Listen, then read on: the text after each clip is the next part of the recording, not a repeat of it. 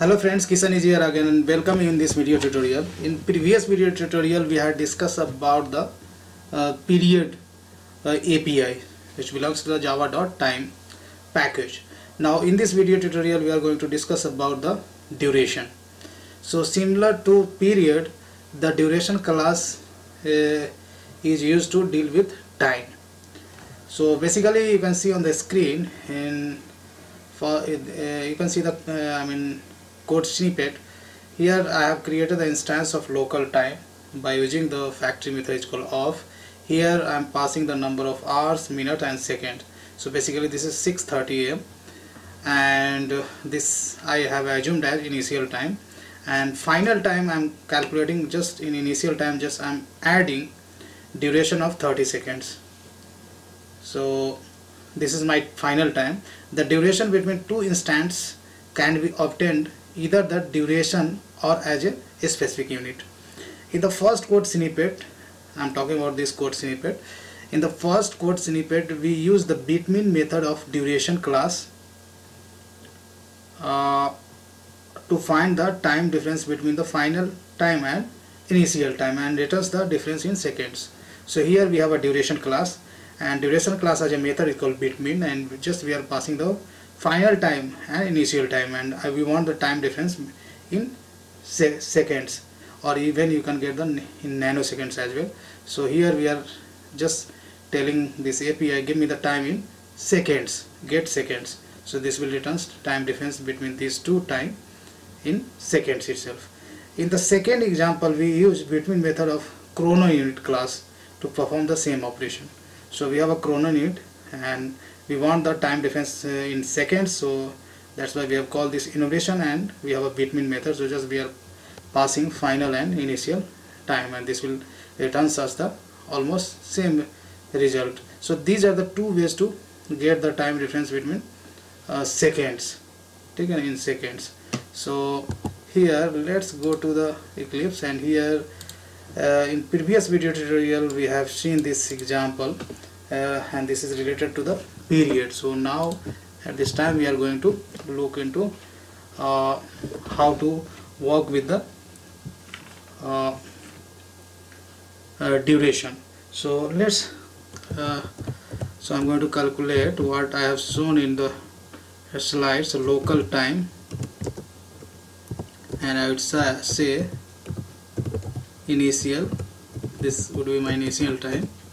And local time and then I'm gonna use of method which accepts three parameters. So a number of hours I'm going to specify 6 number of seconds number of minutes I'm going to specify 30 and number of seconds 0 so basically this 6:30 am sorry. So this is basically 6:30 am this is called initial time. Now I'm going to calculate final time from this initial time itself.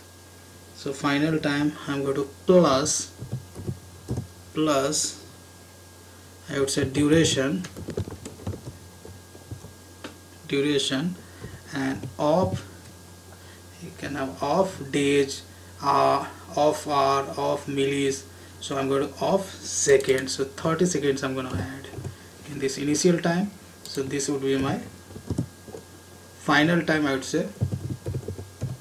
Final time. Now we want to get the difference between these two times in seconds. So here we can make use of the duration. So we have a duration and duration has a method is called between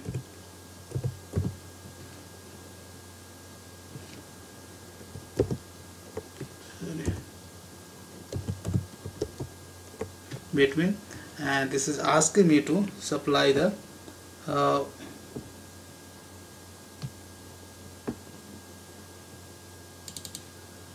between this is asking me to supply the I mean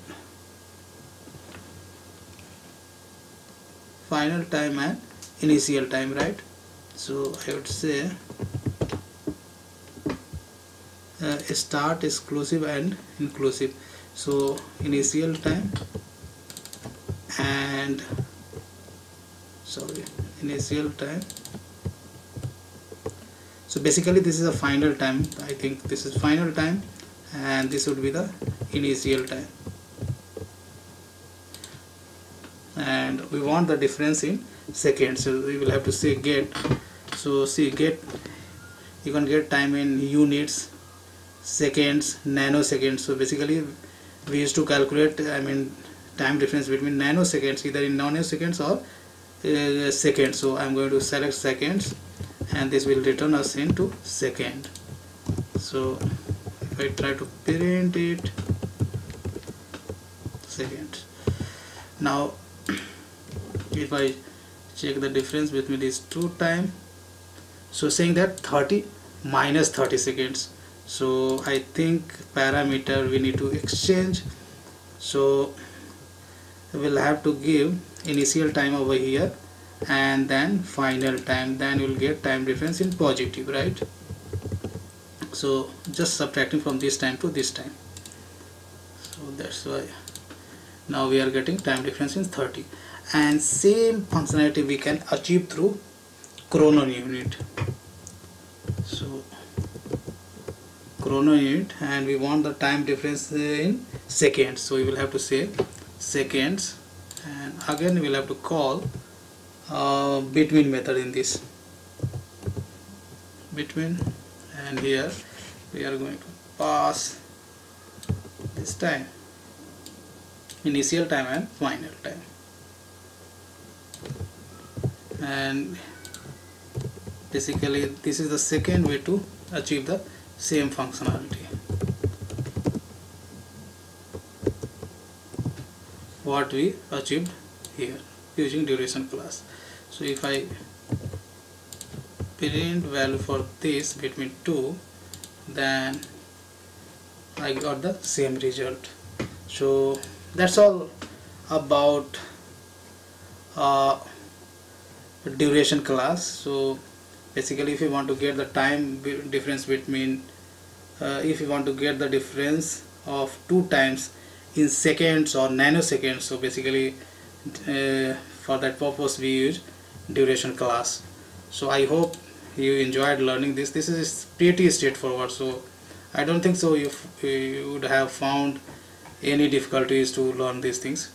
So in next video tutorial we are going to uh, explore some more APIs in uh, Java date time. So please be with me over there and thanks for watching this video